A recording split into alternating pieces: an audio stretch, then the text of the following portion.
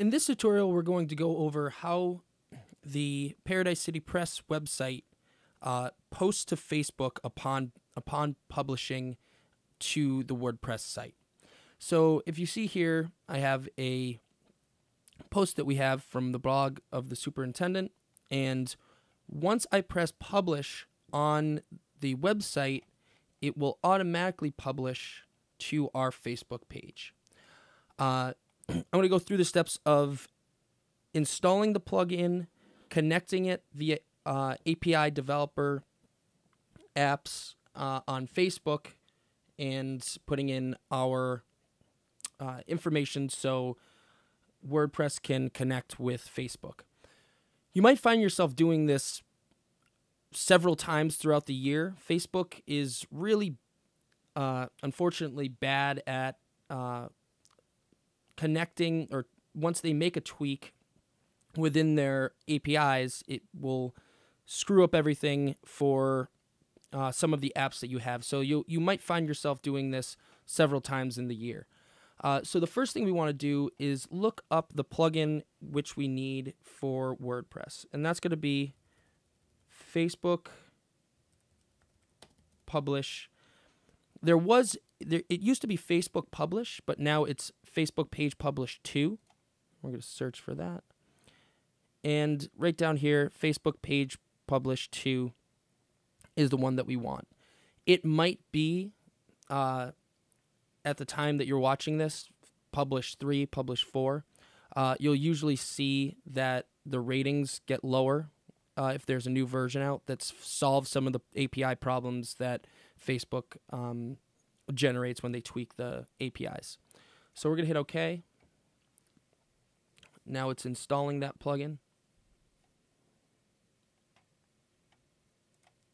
And activate that plugin.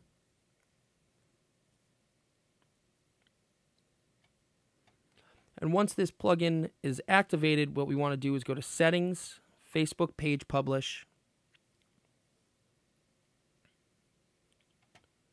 And here we're going to see uh, a request for connecting to your uh, your blog to Facebook.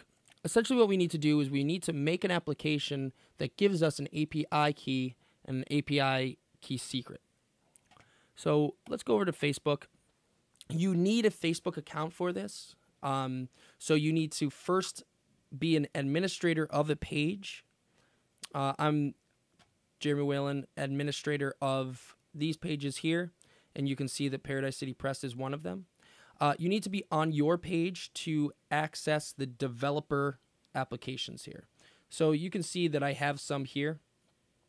Uh, and if I go to create app, I can create a new one.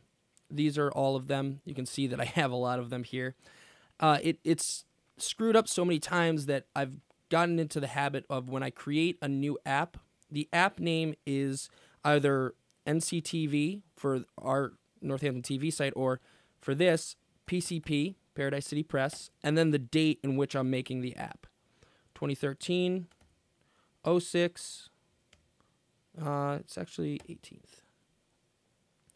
Uh, and then it's the same exact thing, but no capital letters here. So PCP 2013 06 18.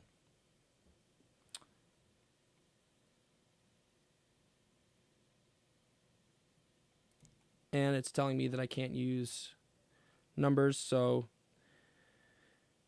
PCP June 18th. And if I hit OK, or continue. Takes me to a CAPTCHA. Hopefully I get this right the first time.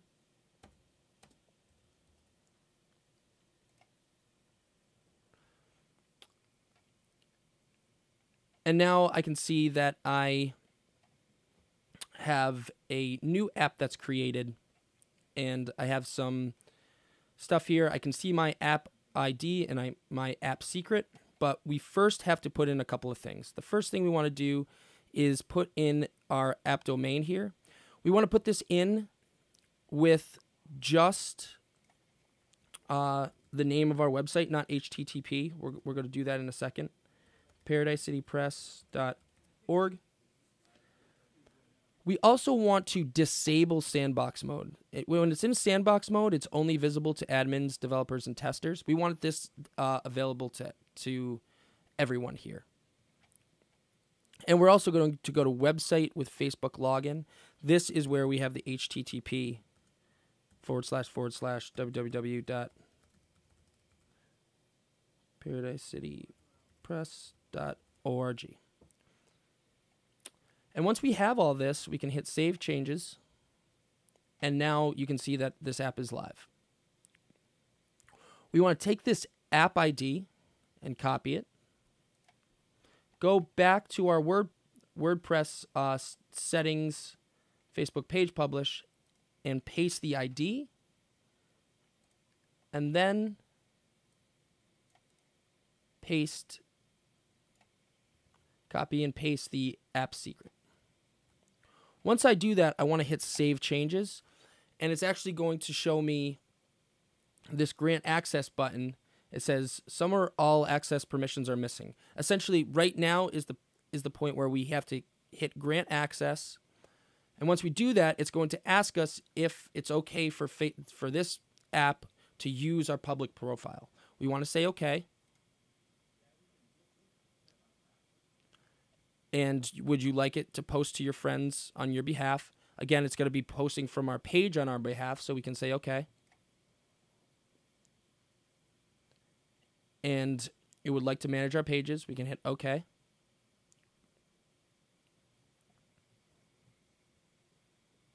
And once we give it all the correct permissions,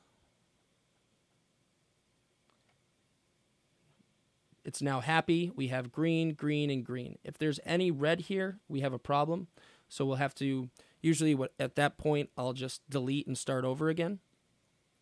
Uh, create a new Facebook app as well. So now that we have uh, access granted, we can see that it's now found all my pages here. So I'm going to go to, uh, I'm going to click Paradise City Press, and now it's automatically found our profile ID.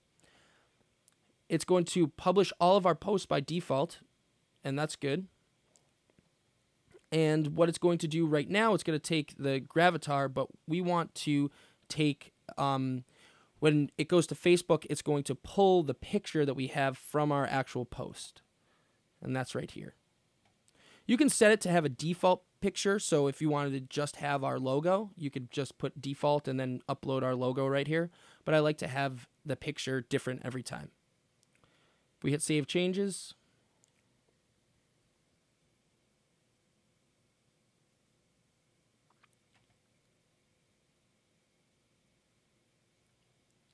Everything's all set.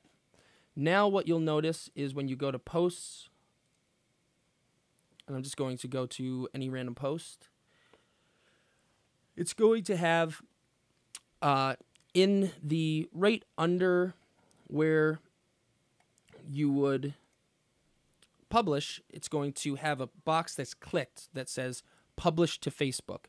If you leave that clicked and you hit publish, it's going to automatically push that uh, push that content over to Facebook. Once this loads, we can take a look at it. Right here, I guess it's over. So publish to Facebook.